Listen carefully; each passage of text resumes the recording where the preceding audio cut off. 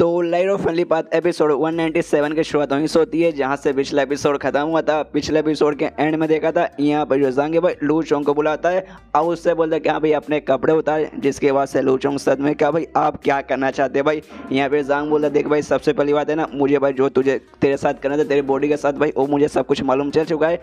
लेकिन भाई, उसके बाद तुझे अपने कपड़े उतारने पड़ेंगे, तेरे बॉडी के अंदर भाई, अपना कुछ स्किल यूज़ करके भाई, तुझे मुझे इंप्रूव करना है। उसके बाद से जब मेन दवाई का यहाँ पे मैं यूज़ वगैरह करूँगा तो उसके भाई कपड़े उतारने पड़ेंगे ना भाई, क्यों यहाँ पे इतना सोच रहे हैं? जो सुने तो कहता अच्छा इसी बात है क्या भाई मेरी पावर बढ़ाने के लिए वरना मैं तो कुछ और ही समझा था यहाँ पे संग भी सोचता कि हाँ भाई आजकल के बच्चे भाई, मालूम नहीं भाई इनके दिमाग में क्या क्या आने लगता है। तब यहाँ पे देखता भाई लो चोंग ने अपने कपड़े उतार दिए। अब अपना कच्छा भी उतार रहा है। जो देखने था जंग सदमे में कहता भाई, साले, रुक भाई, अपना अंडर भी यहाँ पे क्यों निकाल रहा है? जो सुने थे लू चोंग बोलते कि हाँ भाई, आपने तो बोला भाई, अपने कपड़े उतारो। तो मुझे भाई, सारे के सारे उतारने रहेंगे। ये सुने जंग बोलते नहीं नहीं नहीं कच्छा भाई कच्छा रहने दे भाई कच्छा तू पहन सकता है।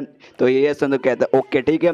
तो उसके बाद आराम से बढ़ जाता है। जांगो से फिर से ज्ञान पेलता कहते कि देख भाई, एक बार तुझसे और कह रहा हूँ भाई, अगर भाई यहाँ पे सही हो गया तो भाई ना तुझे बहुत पावर मिलेगी। तो मतलब बहुत ऐसे कमाल का अपने अंदर पावर महसूस करेगा, लेकिन बाई चांस है ना इसके अंदर भाई तू संभाल नहीं पाया। मैं तो अच्छे से करूँगा, मुझे भरोसा है, लेकिन तेरे ऊपर कि हाँ भाई तू इसको संभाल पाएगा कि नहीं? नहीं संभाल पाया तो भाई इसमें तेरी ही मौत होगी। तो भाई करने को तैयार है ना? सामने से बोलते कि हाँ मैं तैयार हूँ भाई, कीजिए। यहाँ पे जांग बोलते ओके, ठीक है भाई। और अपने भाई तैयार करता है, लेकिन अभी भाई जो मेन तरीका है ना भाई, वो पॉइजन वगैरह जो इसने जड़ी बूटी यूज़ किया मतलब जड़ी बूटी जो इकट्ठा किया, उसका यूज़ यहाँ पर नहीं कर रहा। अपना फिर से और स्पीच एनर्जी यूज़ करे सुई के ज़रिए उसके बॉडी के अंदर सर्कुलेट करवाने के लिए। क्यों भाई ना, सबसे पहली बात है ना, वो सारे जो पॉइजन है, उसे संभालने के लिए इसका बॉडी यहाँ पे स्ट्रॉन्ग रहना ज़रूरी है। लेकिन इसका बॉडी यहाँ पे एवरेज है भाई, क्योंकि भाई एवरेज बॉडी में इसका काम चलने वाला नहीं है। तो जिससे भाई सबसे पहले अपना स्किल यूज़ करके उसका हल्का से जो पोटेंशियल है भाई, वो यहाँ पे बढ़ाना चाहता है, जिसमें बेसिकली टाइम भी लग सकता है। इसको अच्छे से ना, इसका भी यूज़ करने में और जो पॉइजन इसने तैयार किया, उसका यूज़ करने में, जिसमें दस दिन से ज़्यादा भी लग सकता है। लेकिन भाई, मैंने ना बेसिकली इसको वादा कर दिया कि यहाँ पे दस दिन के अंदर है ना, मैं पक्का वादा करता हूँ तो अपना बदला यहाँ पे ले पाएगा। तो मैं भगवान से दुआ करता हूँ कि हाँ भाई ये सब कुछ है ना, दस दिन के अंदर आराम से संभाल ले और अपना बदला ले ले। और एक बात लेकिन मानना पड़ेगा भाई, ये बंदा यहाँ पे ना सात दिन तक लगातार है ना अकेडमी के गेट के बाहर बैठा रहा कि हाँ भाई मुझे एडमिशन दो, मुझे एडमिशन दो, मुझे एडमिशन दो। जिसका भाई ना इसको एंड में एडमिशन मिला भाई, इतना है ना किसी भी बंदे के अंदर है ना टेस्ट और पेशेंट रहता नहीं, किसी भी बंदे ने इतना विल पावर रहता नहीं। यहाँ तक जो मेरे पाँचों बच्चे भाई, उनको भी ऐसा करने को बोला जाएगा तो भी शायद नहीं कर पाएँगे।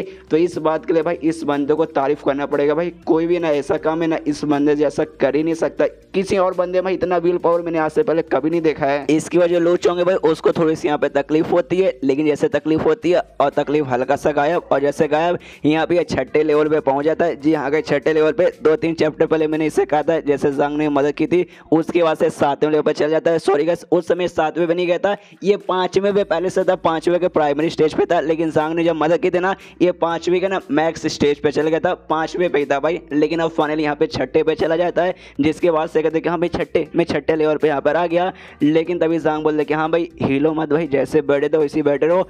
मेन काम तो भाई अभी चालू हुआ भाई। पहले खाली अपना स्पिरिचुअल एनर्जी यूज़ करे था भाई, लेकिन अब जो उसने फाइनली दवाई वगैरह बनाया था ना भाई, उसका यूज़ करने वाला था। जो देखे मतलब यहाँ पे लूच होंगे था अच्छा भाई तो ये है वो दवाई जिसके बारे में आप बात करे थे कि हाँ भाई, मेरा जो पॉइजन बॉडी है भाई, काम आएगा। यहाँ पे जांग बोलते कि हाँ भाई, यही था भाई।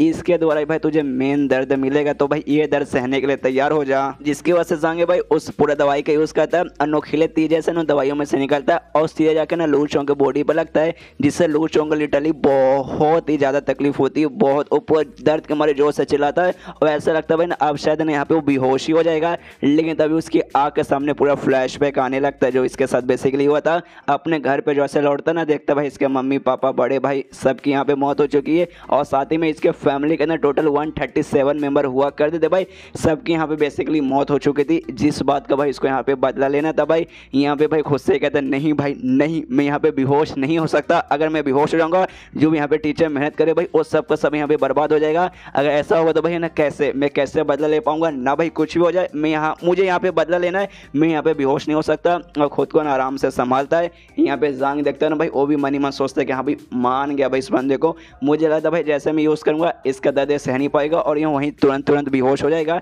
लेकिन ऐसा नहीं हो भाई, इस बंदे ने भाई पूरा का पूरा अपना विल पावर यूज़ किया भाई, खुद को यहाँ पे जगह रखने में भाई। जितना मैं सोचता हूँ कि हाँ भाई, इस बंदे का विल पावर अच्छा है भाई, ये उससे लाख गुना ज़्यादा ज़्यादा अच्छा निकलता है। मतलब इस बंदे के पास्ट में यार पक्का कुछ ना कुछ ऐसा बहुत ज़्यादा डेंजरस वगैरह हुआ है। और ऐसे जिस हिसाब से बंदा अपना जोश देखा रहा है ना भाई, इसी जोश के साथ प्रैक्टिस करता रहेगा। अपना जो टॉक्सिक बॉडी ना भाई, उसको अच्छे से एक्टिवेट करके काफ़ी अच्छे से यहाँ पे सीख लेगा। इस बात को मानना पड़ेगा इस बंदे को फिर से। और तभी उससे कहते हैं कि हाँ भाई, जो मैंने बॉडी मतलब जो बेसिकली जहर तेरे बॉडी ने भी डाला भाई, इसका तकलीफ़ भाई, एक दिन तक भाई पूरा तेरे बॉडी में रहेगा। मतलब एक दिन भाई तुझे पूरा यहाँ पे तकलीफ़ होगा, बहुत ज़्यादा दर्द करेगा। जो तुझे भाई यहाँ पे सहना पड़ेगा भाई, सह ले भाई, उसके अंदर मैं तुझे देखूँगा। और ज़्यादा से ज़्यादा कोशिश करना। हाँ भाई, बेहोश ना रहूँ भाई।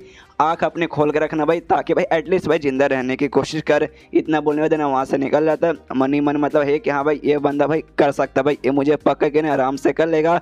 उसके बाद ना सोचते कि हाँ भाई चलो, इस बंदे का प्रॉब्लम तो ऑलमोस्ट मैंने सॉल्व कर दिया। लेकिन अब मेरे बच्चे यानी जाविया और मुँह को भाई ना मुझे एक को भाई तलवार का और दूसरे को ड्रैगर का यानी ब्लेड इसका भाई मुझे स्किल सिखाना है। तो पहले भाई मुझे खुद ट्राई मारना चाहिए। किसी दूसरे एरिया में जाता हूँ, रात का समय हो जाता है, जंगल में आता है और यहाँ पे कहता है कि हाँ भाई, मुझे काफ़ी ज़्यादा मैं लग हूँ क्योंकि भाई मुझे लाइब्रेरी के ज़रिए ढेर सारे ना ऐसे स्किल वगैरह रिकॉर्ड करके रखें एक दो स्किल यहाँ पे फॉर्म करता हूँ, सबसे पहले ना तलवार का यहाँ पे स्किल फॉर्म करता है। देखता है कि यहाँ पे सारे बेकार बेकार चीज़ें, जो अनवांटेड चीज़ें दवाई निकाल के, जो मेन स्किल कंबाइन करके बुक तैयार करता है। कहते हैं कि हाँ भाई स्वॉर्ड फॉर्म नाम का टेक्निक है भाई, इसको मैं ट्राई मारता हूँ। ट्राई मारता, सब सब सब सब ऐसा चलाता है। देखता वाह वाह, कमाल के स्किल है भाई, मानना पड़ेगा भाई। जरा हल्का सा ट्राई मार के देखता हूँ। और शाम करके ना ऐसा तलवार चलाता है जिस कारण सामने भाई ना चार पाँच पेड़ दे भाई सब सके भाई वहीं पे कट जाते हैं। जो देखा था यहाँ पे जंग भाई, वो भी हिल जाता है। कि अरे बाप रे, इससे पहले ना मैंने जो भी स्किल बाकी बच्चे को सिखाया था भाई, उसके मुकाबले देखा जाए तो ये बहुत ही ज़्यादा पावरफुल है। क्योंकि भाई ऑफकोर्स मैंने ढेर सारे यहाँ पे तलवारबाजी के